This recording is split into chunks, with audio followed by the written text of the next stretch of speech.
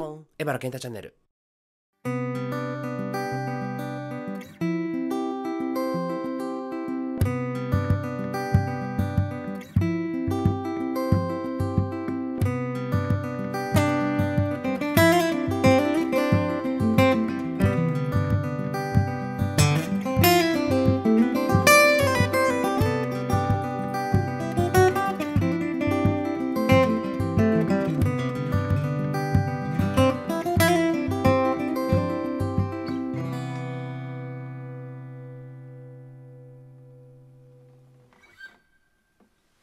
どうもこんにちは。シンガーソングライターそしてギタープレイヤーの江原健太です。僕はですねこれまで10年近くになると思うんですけれどもルーパーループペダルをですねずっと使ってまいりました。でその中でですね様々な質問使い方だったり設定方法だったりの質問をいくつも受けてきました。だけどねこれまで全然答えられてなかった。ので、えー今回からですねこの YouTube のビデオシリーズを通じて皆さんのですね何かヒントになるようなものを一緒にシェアできていけたらなと思っております。今回使うルーパーはこちら。はい。ボスの RC300 というモデルでございます。これですねトラックが123と3つついているのでライブとかでですね直感的にパパパッとトラックをスタートさせたりストップさせたりするのに非常に優れているマシンだと思いますので今日はちょっとこのマシンを使いながら、えーループのねことをお話ししていきたいなと思いますえ今日はですね僕の書いた「Don't Say No」という曲を、え使ってですねこの3つあるトラックのうち2つを使ってループアレンジの簡単なやり方を説明してみようかなと思います。まずはトラック1にこの曲のバッキングギターのシンプルなコードの3フィンガーをちょっと入れてみたいと思います。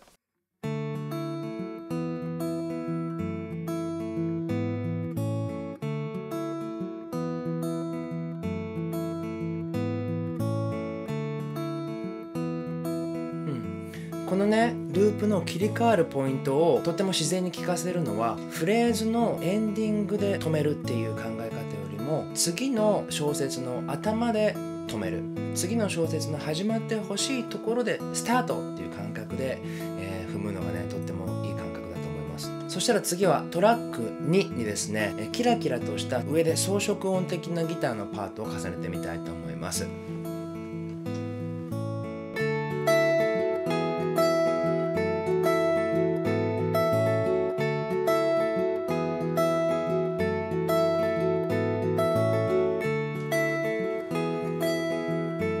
うん、とてもいい感じですね。そしたら同じチャンネルに今度はバスドラムリズムトラックを重ねます。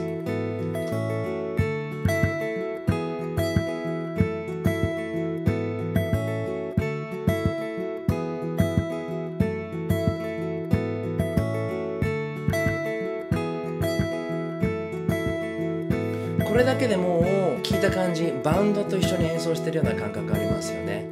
それではこの動画の最後に今のですね「Don't Say No」という曲をワンコーラスだけちょっとこのループの応用テクニックも使いながらですね聴いていただけたらなと思います。応用テクニックについてはまた別の動画で紹介したいと思います。それでは「Don't Say No」お送りしますよ。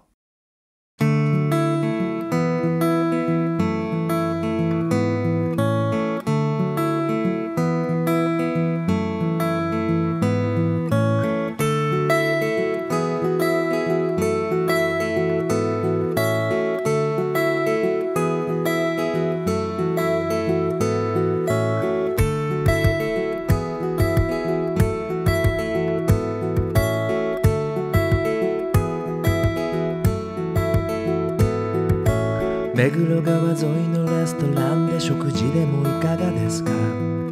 先日なくしたマフラー新しいの選んでくれませんか？リハは上々。あとは行動。でも頭の中は悪い想像。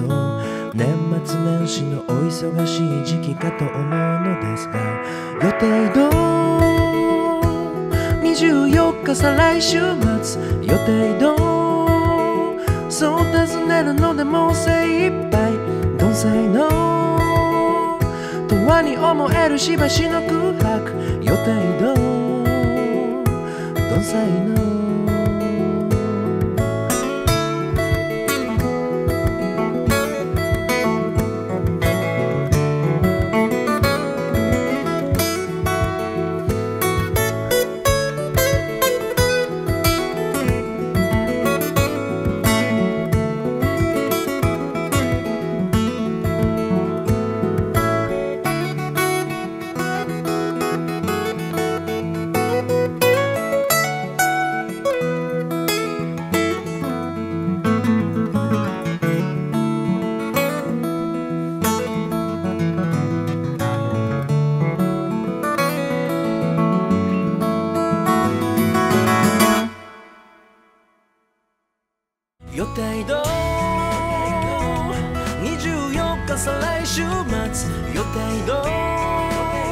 そう尋ねるのでもう精一杯。Don't say no 永遠に思えるしばしの空白。予定どう